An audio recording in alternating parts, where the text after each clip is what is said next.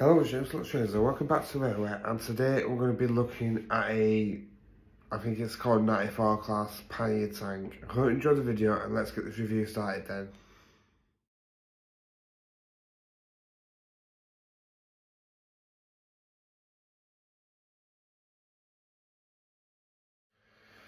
Well then guys, um, so I was just saying, um, the reason why I haven't been posting is because I've got a new phone. Um, and I'll prove that right now because I've got my old one here, as you can see, look.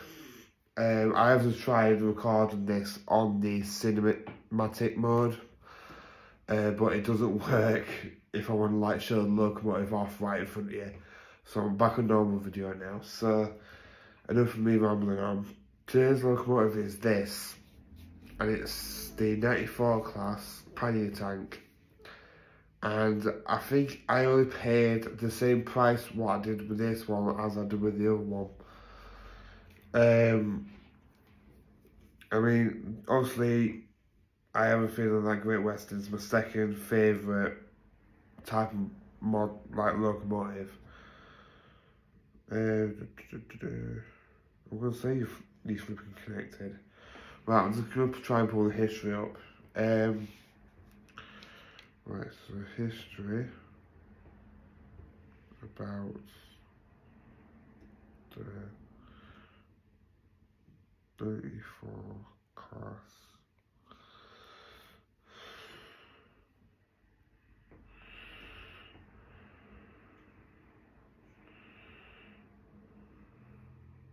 locomotive. Uh, da, da, da,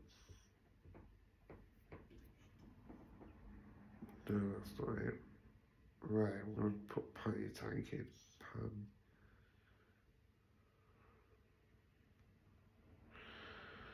Right, let's see what I can go with. Boom.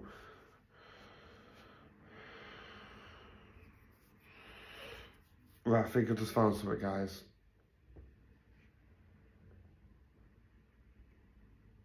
I'm sure it's called 94 class. I might be wrong. But I've got the history up here, right. So let me just put you somewhere where you can see the locomotive. Right then, so I'm just going to hold you here, guys. I'm going to do what I did, a bit like what I did with my Hush Hush. Um, and I'm going to keep you on here while I talk in the background about the history about this locomotive. So GWR 57 class or 57XX is a class of 060s Pannier tank steam steam locomotives built by the Great Western Railway and was between 1929 and 1950 with with 863 built. They were most profile class of the GWR and one of the most numerous classes of Britain's steam locomotives. So that's quite interesting. So, now that we've just done, done that, um, I'm gonna I'm gonna take you up onto the detail table now. Then I'm gonna show you some of its details, and after that, we're gonna have like a running session. And then I'll talk to you bit then, guys. Right then, guys. So as you can see, we're up on the detail table now. Then, um, with this locomotive, I am going to show you the motor as well today. I know that I've kept saying that time and time again, but the past models I've been reviewing, they have been like really expensive models and I can't, you know, afford to like break some on that model and then obviously, you know, then that model's broken. So I will be showing you the motor, what's in this model. So, I mean, like I said in one of my other videos, I did technically say that this is a market model, so you know, I will be using that as um, like. So the first thing we're going to look at is the obvious. Oh, did I, did I mention which locomotive make this was? I don't think I did, did I? It's a Lima one, for those who's wondering. So, that out of the way, the first thing we're going to look at is, yet again, it hasn't got any sprung buffers, which you'd, you'd expect on a Lima model, but it's uh, because Lima's like relatively quite cheap on how they put like how they build the models. So, and then also you've got like a lamp on the front. I don't know if you can see that. I'll bring up to you actually. There you go. and then you've got GWR on the side, as you can see. And you've got all these wheels at the side, and you've got some steps. And you've got some like really nice pipework detail as well. Look, if you look carefully, you've got some really nice uh, pipework detail as well. Um, and obviously the chimney top is just made out of plastic again. The dome is just plastic. The whistles, yeah, they're plastic as well. No glazing, unfortunately, but there is a reason why that is. Oops. And it's mainly the same again on the other side. And then obviously, if you look carefully, you've got the running number. It focuses, there we go. It says 9, yeah, 94. So, right then, so what I'm going to do now is show you how to take the, um, how to take the body off to get to the motor. So obviously you need, you're going to need the obvious, which is the flathead screwdriver. I did this with my other one, by the way, so I do know what I'm doing. And then if you look carefully, if I show you, I think it's that screw there. You have to undo that screw there to get to the motor. So I'm just going to do that now.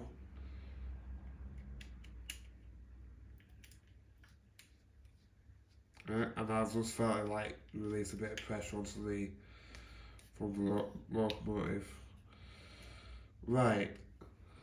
So there's the body off. I know it might look a bit horrified to some people, I'm joking. And obviously we're left with this. Just the standard Lima type motor. I think it's a Ringfield motor if I'm correct. Hey baby. Um, but obviously these motors are fantastic motors. I mean, I've I've had like tons of Lima locomotives in the past, and they're brilliant motors. So obviously, as you can see, the motor is here, which is obvious, and then a lot of the locomotive's weight comes from this thing here, which again, and then obviously with an old Lima one, you got pickups there going from the from in here to the wheel set, so it picks up power and same on the other side as well. So what I'm going to do now then guys, I'm going to get the body back on now that I've shown you what it looks like with without the uh, body shell on. And I'm, now we're going to take up onto the layout and then we're going to do some slow speeds with it. And then we're just going to have a running session. So I'm going to just do that now then.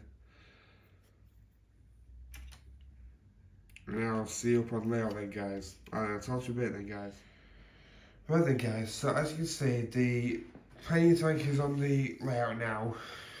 If you can see that. There we go. And what we're going to do now is test its slow speeds to see what the slow speeds are like on this model. Um, from what, what I remember, they're quite good. But again, I haven't run this model in quite some time. Okay, then let me know it works. I've got that, I'll have to power on. Because I was just cleaning the wheels up a little bit, guys. I mean, this isn't fresh out of the box anyway, so that's why it didn't really matter if I cleaned it, cleaned the wheels or not. Right, I'll sort that out in a minute. Right then, I'm, I apologise for that, guys. Right, so me just reverse the back. Because I was, that was on my behalf, not anybody else's. Right then, so now that we're going to just try slow speeds, I'll just easily control it there.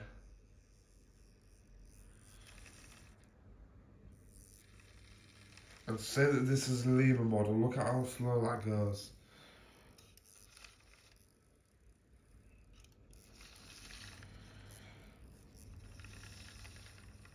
I mean, it's a bit funny, but I might give it like, I might do what I did before with like all the other models, like give it a chance to around a bit and then and judge like what it's like with speed and whatnot because at the minute it's kind of a mixed batch if you know what I mean. Because look at that now sometimes it can go like really slow and it'll just cut out. So that that'll be interesting. So anyway I'm going to pull these pushes back so I can actually get them back on the track properly right then I think they're all on the track properly Now they have. Right then, so what I've got planned to do with this model today, instead of having it pull um, a train, like, you know, going forward, it's going to pull backwards instead, which I've never, don't think I've ever done on the channel before, but if I have, let me know down in the comments below. So, we'll couple the 14XX up to the train now.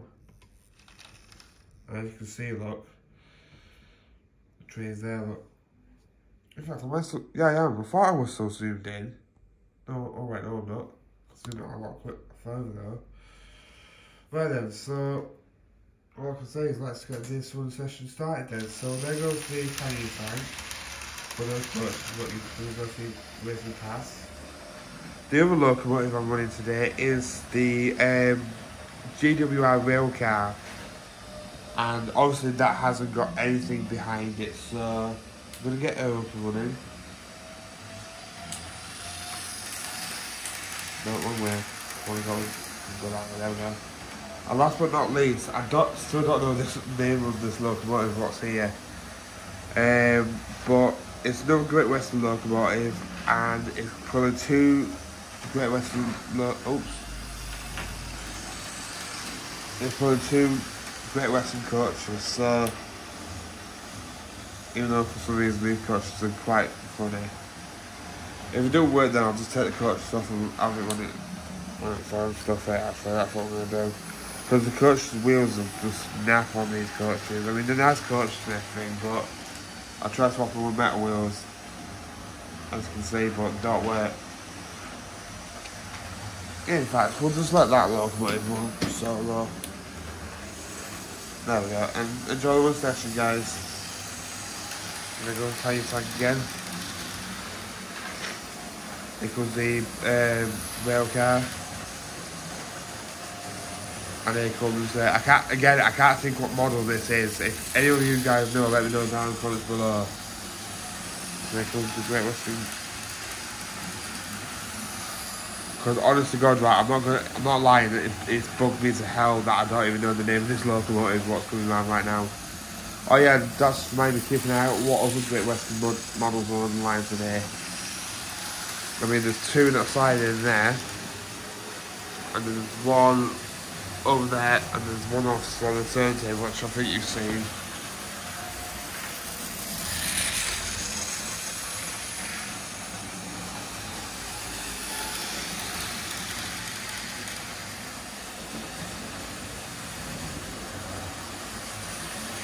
Cut the race is a win. I'm joking. But we're, we're gonna wait until we get reached like oh we're already there. So we'll just let them one more lap. In fact, we'll stop for the rail car. We'll stop the other go left and right.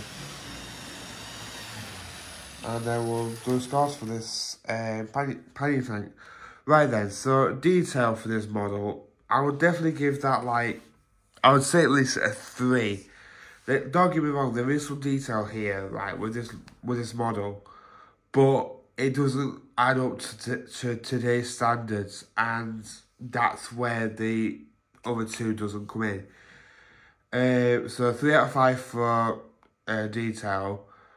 Um, performance, I would definitely give that a five out of five because as you saw, there was no derailing, there was no stuttering or anything like that with this model. Uh, quality, I would definitely give that at least about a three out of five. Again, I know that might sound harsh, but I'm, going to show you this now. As you can, as you can see, the body comes up, and it don't feel like there's a clip or anything under under that to like secure the body. It's the same with my other ones. So, um, value for money, right? So to say that you can get the new one, I think it's either Dapol or Hornby. It's one of the two for like 100 quid. I got this one for 20 quid and um, I regret it? No. Because it is a nice model to have running around your layout. Um, quality, obviously quality. Yeah, I have. Um, slow speeds, which again, we, I'm just going to uncouple it. And then I'm going to test slow speeds again. I know I shouldn't really do this, but it's only fair, and plus, it is my channel. I won't be nasty there, but but let's let's just slow speeds again, see if they've improved at all. And surprisingly, they have. Only just by a smidge there. Still going? Yeah. Yeah, I would say that's about the same as before though, guys, to be honest with you. These Lima models were never, never, well, motor, motor sorry, were never really good crawlers anyway. So, that's that done out of the way. So, let, us just continue with the running session then. So, let's go sleep on your time again. Here comes the, um, I still don't know the name from those motors, seriously. And there comes the rail car.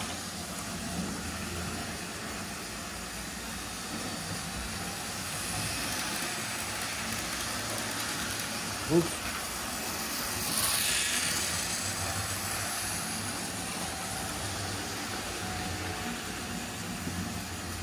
It's not the rail car now. Uh, all six of ten rangers to try to have like a little race.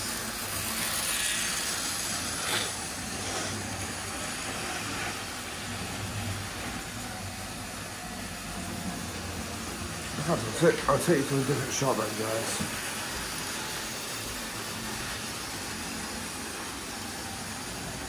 Right, I'm just trying to fix this up.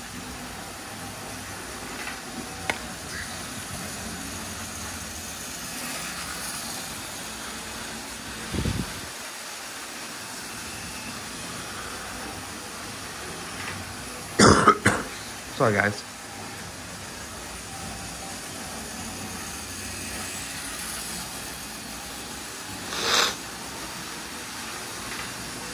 Oh, that's reminded me, guys. Something else I've been doing with my layout is extending it a little bit. Now, I'm not going to give any clues away, but I want you guys to see if you can guess what I'm actually doing in here.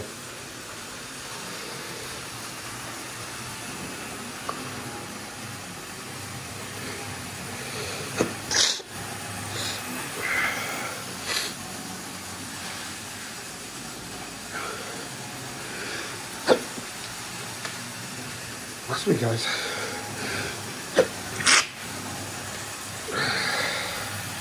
Right, we'll have one more left.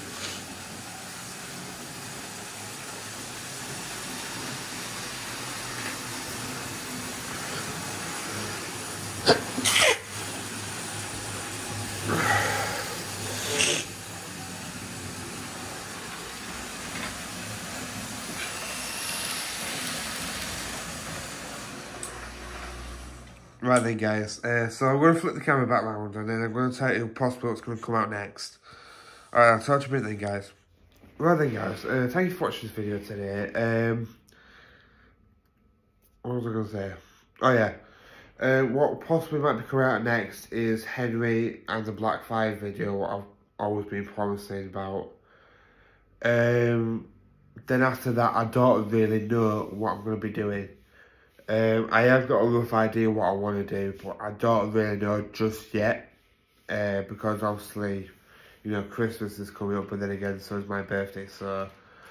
Um, but yeah, if you guys want me, to, that's just reminded me. If you guys want me to try and get the uh, either the Hornby or the Dapol one, one of these, then let me know down in the comments below. And I will try my best to to get one. Um, again, I I still got my hush hush, beautiful model, and thank you for the uh, views what I got on that video. But because I've finally reached 325 subscribers, I'm technically on 327 now. Um, I need your guys' opinion on this. Do you want to see a Q&A video? Because I've asked and asked and asked, and people just don't seem to be getting back to me about that. So if you guys want me to do a Q&A video, then let me know down in the comments below and I'll take it on, bo on board and I will do one. Um, like, it can be questions about my personal life or, you know, my interest in trains, what other sh different shows like, anything like that.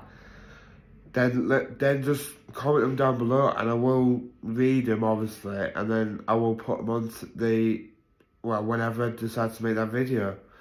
But at the end of the day, it's up to you guys if you guys want to see that. Um, I haven't really got much else to say other than thank you for watching this video today. Again, thank you for subscribing to my channel, everyone. to say that we're on nearly on 330 is unreal, and I'm hoping that by the end of the year that I get to that milestone um, of 330 subscribers because it would mean the world to me if I did.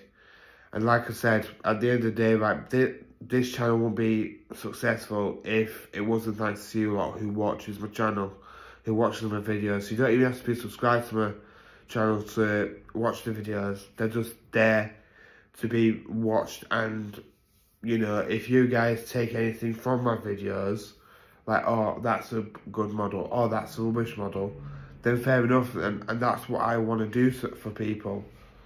Wait, just turn my, my layout off. Um, but that's what I'm saying though, and, and if people got any questions about, like, you know, Again, I will do a Q&A video, and I have said this to death, that I want to do a Q&A video to say that, I've, that I've reached 300, 325 subscribers, well, just always overstep that. I really want to do a Q&A video. So if any of you guys have got any questions, text me on Facebook or whatever or whatever social media platform you've got me on and just message me a question and I will do that for you. But other than that, I haven't really got much else to say. Other thank you for watching this video today. Please, please subscribe to my channel. Hope, hope you have a lovely day, and I guess I'll see you later, everyone. And, I'll, and all I can say is take care and look after yourselves, and I'll see you later, everyone. Right then, I'll talk to you in a bit, everyone. Bye.